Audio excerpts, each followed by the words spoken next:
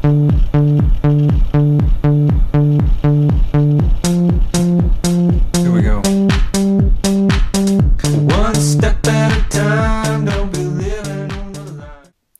this lesson, we're going to learn how to calculate prices in different currencies using exchange rate values.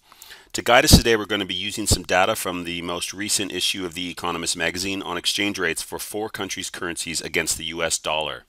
In our table on the right here, we have the exchange rate of the US dollar expressed in four different currencies the Chinese yuan, the Japanese yen, the British pound, and the Canadian dollar.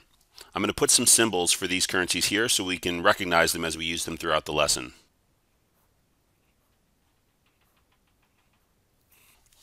So now I've got four symbols for the currencies we'll be referring to in this lesson. Let's look at the scenarios here and then we'll show how to do the calculations to find the price of each of these goods or services described in a foreign currency.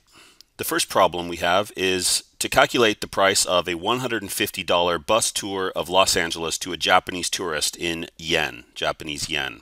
Go over here to do number one. To find the price of an American product in yen, we must multiply the price in dollars,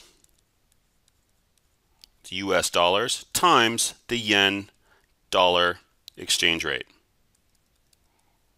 In other words, multiply the price in dollars by however many yen there are per dollar, which we are given in our table here. We know that the yen dollar exchange rate is 121 yen per dollar. So we can multiply the price of $150 by the exchange rate of 121 yen to get the price of this bus tour expressed in terms of yen. Let's do that calculation now. Got the $150 for the bus ticket times the exchange rate of 121 yen gives us a yen price of 18,150 yen. We'll put that into our answer here. So the price of the $150 bus tour to a Japanese tourist equals 18,150 yen. We found this by multiplying the dollar price by the yen exchange rate. Let's move on to number two now, which involves a slightly different method to find the answer for. We're now looking at the price to an American businessman in US dollars of a six pound beer in a British pub. So we want to find the price in US dollars. To do that, we must multiply the price in pounds by the dollar per pound exchange rate. Now here's where things get a little complicated. The table does not tell us the dollar per pound exchange rate. The table tells us the pound per dollar exchange rate. We know that one dollar equals one dollar US equals 0.65 British pounds. What we want to know, however, is how many dollars each pound equals. To do that, we must isolate the pound sign by dividing both sides by 0.65.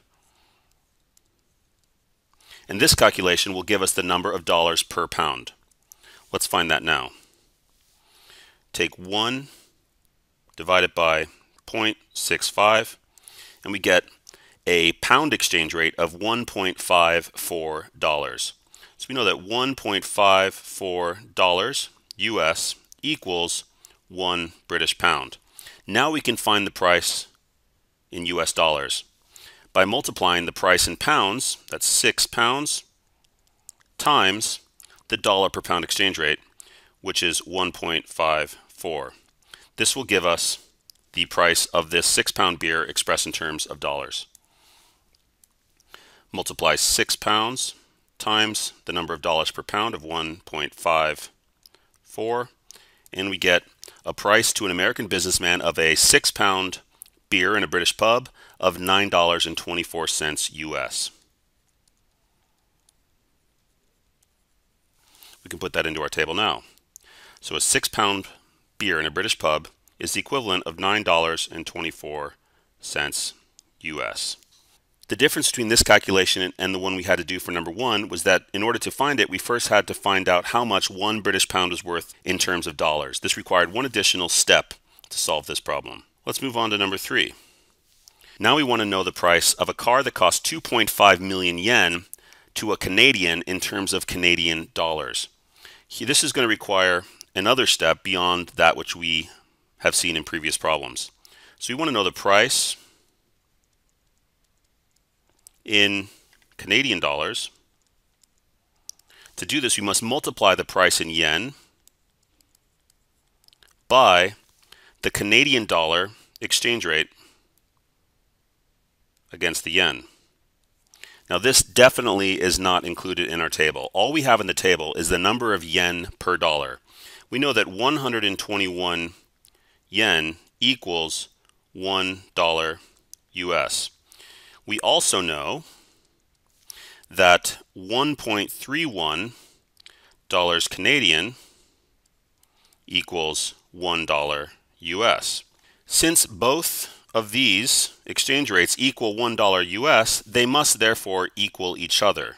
So to find the number of Canadian dollars per yen, we can set the two equal to each other. We can say that 121 yen equals 1.31 dollars Canadian.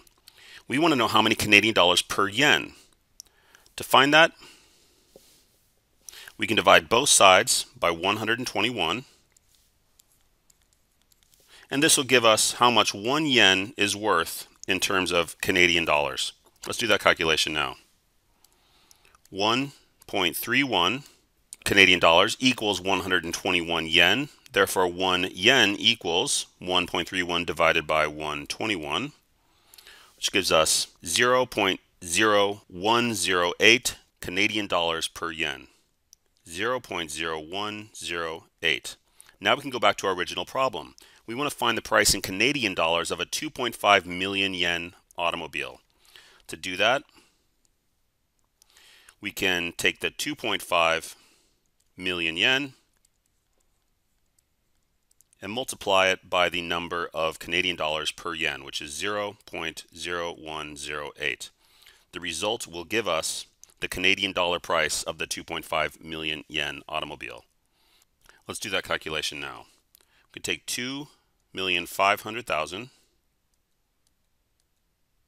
and multiply this by the exchange rate of the yen in terms of Canadian dollars, which is 0.0108.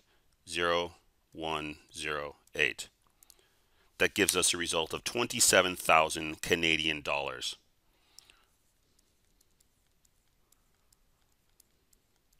So the 2.5 million yen car will cost a Canadian 27,000 Canadian dollars.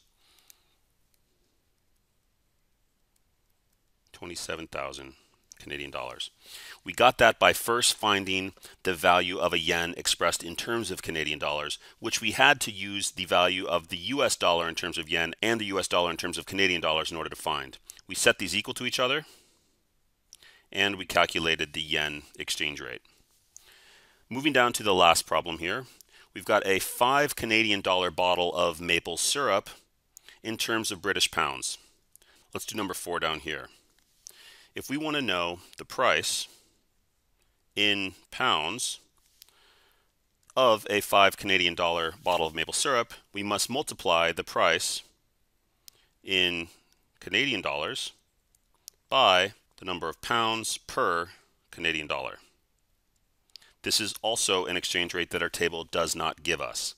However, what we do know is that 1.31 Canadian dollars equals 1 US dollar. And we know that 0.65 pounds equals 1 US dollar. Therefore, these two must be equal to each other. So we can set those equal to each other. So we know that 1.31 Canadian dollars equals 0.65 British pounds. In order to find out how much one Canadian dollar costs in terms of British pounds, we can divide both sides by 1.31 and we'll get the value of a Canadian dollar in terms of British pounds, which is 0.5 pounds. Now we can find the price of a 5 Canadian dollar bottle of Canadian maple syrup in terms of British pounds. So the price in pounds, we'll do this down here, equals the price in Canadian dollars, which is 5 times the British pound Canadian dollar exchange rate, which is 0.5 pounds per Canadian dollar. This gives us a price of this $5 Canadian maple syrup bottle of 2.5 British pounds. So this equals 5 Canadian dollars.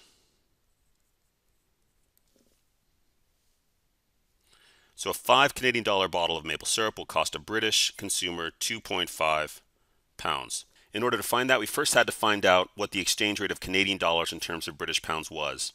And to do that, we used the data from our table showing the value of US dollars in terms of both pounds and Canadian dollars. So in this exercise, we have learned how to calculate prices in different currencies using exchange rate information from an exchange rate table. Each of these problems required slightly different steps in order to come up with the answer, but you should be comfortable using each of these methods in order to calculate prices in different currencies. Here we go. One step back.